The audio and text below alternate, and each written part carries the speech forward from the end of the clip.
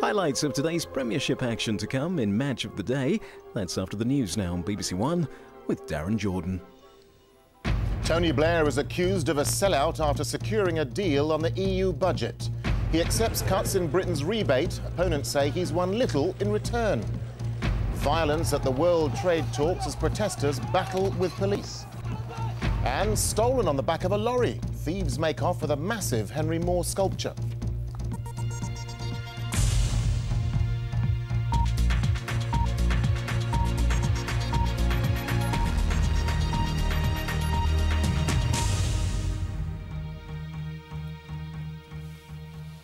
Good evening. Tony Blair's deal on the European Union budget has come under political fire tonight after Britain gave up part of its annual rebate. But after months of wrangling and a night of intense negotiations, the new agreement will lead to a review of France's farming subsidies. The deal will see Britain and the EU paying more to new member states. There'll be a £1 billion cut in the UK's annual rebate. That means overall, Britain will contribute £42 billion over seven years. That's an increase of 63%. From Brussels, our Europe editor Mark Mardell reports. Christmas shopping in Brussels Grand Place, and now the European Union can get down to spending its money too. Most of the goodies go to the new countries of Eastern Europe, and Mr Blair says it's for them that he's done a deal. He's tough and courageous, according to other European leaders, but at home different words were used, like humiliation and surrender. If we had simply said we were not going to do this deal, we would have done immense damage. Not just to the European Union, we'd have done an awful lot of damage to our relationship with those new countries. And that relationship is in Britain's national interest. But what about that rebate? He said he'd only given up a bit to help the East. We not just kept the rebate, in full on all other spending, but it will actually increase over the period of the next financial perspective. Britain's not the only one paying more. Italy's Silvio Berlusconi is taking a big hit. And President Chirac's also seeing his contributions shoot up. Still, he got what he wanted. Premier ministre Tony Blair Tony Blair has accepted a serious change in the British rebate. It's politically difficult for him, and it is a big gesture. The French can afford warm words and wide smiles. They feel they've given no ground on farming subsidies. Tony Blair did start off wanting either real changes or firm promises. He got neither and headed off home to face criticisms. In the general election, which was only seven months ago, they said the rebate was non-negotiable and fully justified. That's what the voters were told. They then said, not unreasonably, well, we'll trade a bit of that in return for CAP reform. Now they've abandoned even that. I think this is a profoundly disappointing end to a presidency which promised so much. The government has failed to achieve its objective, which was to bring about radical reform of the common agricultural policy. But no criticisms from the Poles. Their normally dour Prime Minister enthused that the taste of victory was as good as the finest champagne his country held out for and got a lot of the money. For Germany's new leader, a snatched bottle of water was enough. She's quickly established herself as a shrewd peacemaker, but Germany, like other rich countries, ended up paying more than they really wanted to. The sculpture outside the building where they've been meeting is called Onwards Europe. But the leaders aren't very much further forwards on whether they should spend their money on farming or on enterprise. They've put off that row for a couple of years yet. Mark Mardell, BBC News, Brussels. Riot police have fought running battles with protesters at the World Trade talks in Hong Kong. Demonstrators armed with sticks were driven back after they attacked police lines. It came as some of the world's poorest countries threatened to abandon the talks. From Hong Kong, Evan Davis reports demonstrators trying to break police lines. There have been skirmishes and scuffles all week, but nothing as close to the actual trade talks as this. It's Koreans who dominate the demonstrations, particularly farmers, angry at the way free trade undermines their livelihood. They're getting heard, they're getting quite a name for themselves at these events, but so far at least they're not getting into the building. The police have been relatively restrained and the public, many came out to watch. If you have family or friends in the area, contact them and tell them to immediately leave because police will be taking all necessary action to restore order. It looked at one point as though demonstrators might break into the talks, but in fact, the best views people inside had was on television. But that didn't stop the painfully detailed trade discussions. They even achieved something. There is now a draft declaration for this summit. Alas, the countries here haven't all signed up to it yet, and the earlier ambitions have been watered down. It's been a week of standoffs in the trade talks, and they've only one day left to resolve them. And back outside the talks tonight, there was a standoff of another kind, police facing demonstrators. Whether it's trade protests or the trade talks, diplomatic skills are very much in demand. Evan Davis, BBC News, Hong Kong. Here, a couple and their three children have died in a fire at their home in Middlesex. It broke out in the early hours of the morning. The parents, along with their two daughters and a son, all under 10 years old, were found by firefighters at the house in Hayes. Investigators believe the fire may have been started by Christmas lights. Unionist politicians in Northern Ireland have called for a public inquiry after a senior Sinn Féin official admitted spying for Britain for 20 years. Denis Donaldson is one of three men cleared last week on charges relating to an alleged IRA spy ring at Stormont. A huge bronze sculpture by the artist Henry Moore, worth around £3 million, has been stolen from the grounds of a museum in Hertfordshire. Police fear the work, called a reclining figure, could be sold for scrap, despite weighing more than two tonnes. Here's Daniel Boettcher. This is the sculpture that was stolen, called Reclining Figure 1969-70, valued at around £3 million, a significant piece in the collection of the Henry Moore Foundation.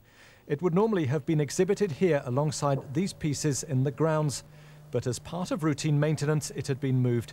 Instead, it was in this yard. Today, only the wooden supports remain. I mean, it could be one of two things from our point of view. It could either be uh, uh stolen for scrap metal value or it could be uh, fine art theft. And we're looking at all the alternatives in between. These CCTV stills show part of what happened. The sculpture is at the top of the image. A vehicle approaches. After the thieves attached straps to the bronze, a second vehicle, a flatbed truck with a lifting crane, takes it away. The sculpture that was stolen was similar in size to this one, two and a half tons of hollow cast bronze, which gives a sense of just how difficult it would have been to hoist it onto the back of a truck in pitch darkness. For now, all that is left is a photographic record of how the bronze was made here at Henry Moore's studio in Hertfordshire. For the foundation, this is a great loss. I was completely devastated when I heard it. Well, first of all, it was disbelief, uh, because I couldn't think, couldn't believe that um, something of this size, this weight, uh, could have been taken. And the place is packed with pictures and sculpture. Perry Green was where Henry Moore lived and worked for almost half a century until his death in 1986. The thought that one of his sculptures could be melted down for scrap horrifies those who knew him. I should be very sad, and it would be a desecration of a beautiful work of art, uh, vandalism of, of the first category. The Henry Moore Foundation is offering a substantial reward for the return of the sculpture. Daniel Boettcher, BBC News, Hertfordshire.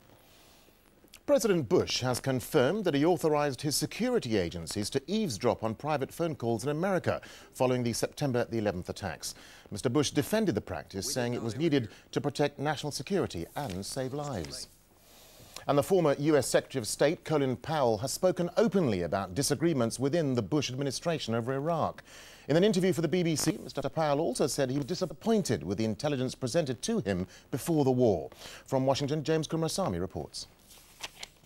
As America's top diplomat during President Bush's first term in office, Colin Powell was often the face of the nation. And so it was he who made the presentation at the United Nations in early 2003, which argued the case for military action against Iraq. Now, in a BBC interview, Colin Powell says he was never told that some of the intelligence he'd used to make his argument was known at the time to be wrong. I was deeply disappointed uh, in what the intelligence community uh, had presented to me and to the rest of us. And what really upset me more than anything else was that there were people in the intelligence community that had doubts about some of this sourcing, but those doubts never surfaced up to us. He speaks about the arguments he had over post-war policy in Iraq with senior colleagues and addresses an issue which dogged his successor Condoleezza Rice on her recent trip to Europe the practice of removing terrorist suspects across borders for interrogation, known as rendition. Colin Powell acknowledges this is damaging America's image abroad, but accuses its European allies of hypocrisy. Our moral position has been weakened as a result of Abu Ghraib and, and uh, what people think about Guantanamo, and then this whole rendition issue came along. Um, there's a little bit of uh, the movie Casablanca in this, where uh, you know the inspector says, "I'm shocked, shocked that this kind of thing takes place." Well, most of my European friends cannot be shocked that this kind of thing takes place. And so from Colin Powell, a defence of US policy, but a recognition that this country's moral authority is on the line at a time when the White House is having to defend itself against accusations of condoning torture and illegally snooping on American citizens. James Coomarasamy, BBC News, Washington. And you can see the whole of David Frost's interview with Colin Powell tomorrow afternoon at half past two on BBC News 24. Business leaders and residents near the Buncefield oil depot in Hertfordshire have told the Deputy Prime Minister that the facility should not be rebuilt. John Prescott visited the site this morning to see the devastation caused by last week's explosions. Here's John Brain. Until 6 o'clock on Sunday morning, this was Fuji Films factory in Hemel Hempstead. 140 people were employed here. If the explosion had been during working hours, it's unlikely many of them would have survived. There was uh, some sort of backdraft as everything got sucked out of the building across the across the car park. Today, the managing director returned to show me just how close the company was to the oil depot, a depot which he says should not be rebuilt. I've seen my office; it was totally obliterated and I may have been vaporised had I been there. It's just inconceivable that we would uh, re-establish our company so close to, to such a, a huge uh, risk. It's a risk many other firms are also reluctant to take. After last week's explosion, they're threatening to leave the industrial estate if the depot is reopened. It was like the nuclear site in Russia, wasn't it? At a meeting with business owners and residents, the Deputy Prime Minister pledged that the future of the depot will now be reviewed. To come and see it in the full daylight, see the scale of the damage, it's well understandable why perhaps companies and uh, indeed residents have been saying to me, is it safe to uh, live and work alongside them? That is a fundamental question which we'll have to address ourselves too. It will take months to repair the damage here and cost millions. But businesses say it won't be worth it if the oil depot is once again allowed to threaten their lives and their livelihoods. John Brain, BBC News, Hemel Hempstead. Now, with a roundup of the football results in England and Scotland and the rest of the sport, is Chris Hollins. Chris? Thanks very much, Darren. Good evening. Now, don't forget, Match of the Day follows this programme where you can see all of today's action from the Premiership. So, if you don't want to know the scores, this is the time to turn the volume down on the television and look away from the screen. The Portsmouth manager, Harry Redknapp, celebrated his return to Fratton Park with a 1-0 win over West Brom. That was their first home victory of the season. Wayne Rooney and Ruud van Nistelrooy scored for Manchester United as they won at Aston Villa 2-0. And Michael Owen scored his first Newcastle hat-trick as they defeated West Ham 4-2 at Upton Park. In the other games, Stelios Giannakopoulos scored twice for Bolton as they thrashed Everton 4-0. Fulham won 2-1 against Blackburn. Manchester City beat Birmingham City 4-1. And Wigan returned to winning ways thanks to a hat-trick from Henri Camara. So United's win puts them just six points behind Chelsea. The leaders play Arsenal tomorrow. Liverpool and Tot uh, Tottenham didn't play today. Bolton are in fifth and Wigan are up to sixth. At the bottom, Sunderland had a day off. Portsmouth move above Birmingham and are now just three points behind West Brom. In the Scottish Premier League, Rangers recorded their second successive league win to put their season back on track. They beat title contenders Hearts 1-0. Peter Lovenkrands scored the only goal of that game. Elsewhere, Kilmarnock won 2-1 at Falkirk. Hibs kept in touch with the leaders with a 2-1 win against Motherwell. Derek Riordan scored a last-minute winner there Um, and Livingston drew with Aberdeen. So Celtic are still top and could extend their lead tomorrow when they play Inverness Caledonian Thistle. Hearts stay second and Hibs are in third. Rangers are fourth but are still some 14 points off the lead. At the bottom, Dunfermline's match was postponed so Livingston have opened up a three-point gap after their draw. Now, there was plenty to play for in Rugby Union's Heineken Cup this afternoon, with the pool stages reaching their conclusion. The biggest game of the day was Saracens against Ulster, and the English club won it 18-10. Here's Joe Wilson. There's no better spectacle than a bit of a grudge match. After losing to Ulster last weekend, Saracens promised to smash them this time. Ben Skirving set about that task within the rules, scoring with practically the first attack. But Ulster responded immediately, keeping the ball alive for winger Tommy Bowe to go over. Now, a bit of needle, frequently found on living room floors right now, was in evidence here. Saracens prop Kevin Yates sent to the sin bin for his loose fist. At 17 and a half stone, it's tough for Yates to go unnoticed, but back on the pitch, he slipped over to give Saracens the decisive try. Mind you, Ulster thought they levelled the match just before the end. Another move finished in the corner, but ruined by the video ref spotting a stray foot in touch. Try disallowed. Elsewhere, Bourgoin basically ended Leinster's hopes in the competition. Alexandre Peclier's injury time penalty securing a two point victory in their match. And in Wales, there were glimpses of the old Jonah Lomu on his home debut for Cardiff. No tries for him, but Cardiff strolled to a 43 16 win over Calvisano. And whatever he does, Lomu certainly draws a crowd. Joe Wilson, BBC News. There were also wins for Munster, Perpignan, Stade Francais, and Biarritz. Ding Junhui became the first player from outside the British Isles to reach the final of the UK Snooker Championships. He beat Joe Perry this evening. The Chinese teenager won his semi-final 9-4 thanks largely to some wonderful potting. The 18-year-old will face Steve Davis in tomorrow's final, a player who is some 30 years his senior. The Australian cricketer Shane Warne has set a new world record. He's now taken 87 test wickets in a calendar year. The leg spinner passed Dennis Lillee's record of 85 when he dismissed South Africa's Ashwell Prince. He then added another wicket to take the record to 87. 40 of those came in the Ashes series against England, of course, this summer. And that's all the sport for me, Dan. Chris, thank you for that. Now, before we go, a reminder of our top story. Tony Blair's EU budget deal has been attacked by the main opposition parties, who say he's won little in return for cuts in Britain's rebate. Well, that's it from us in the newsroom. So from Chris and from me, good night.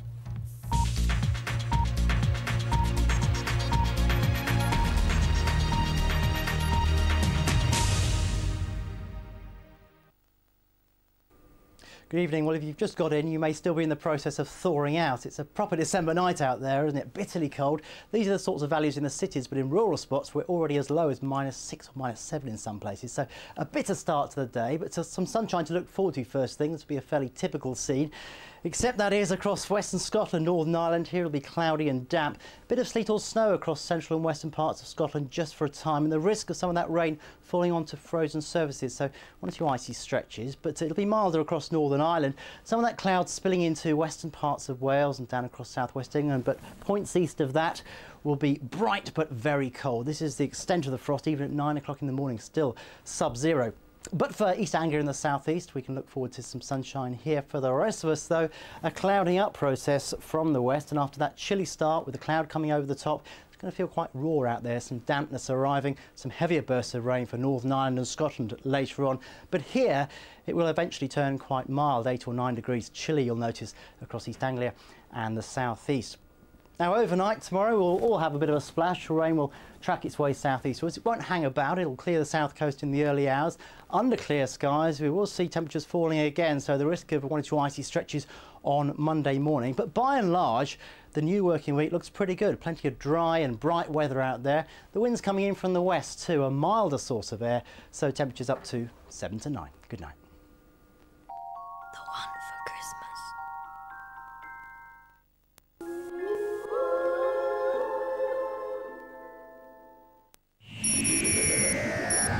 Government sources are calling this our longest night. You will surrender or they will die. Tell them this planet is armed. We do not surrender. Look in the sky. There's a great big alien invasion and I don't know what to do. No sign of the doctor. Nothing yet.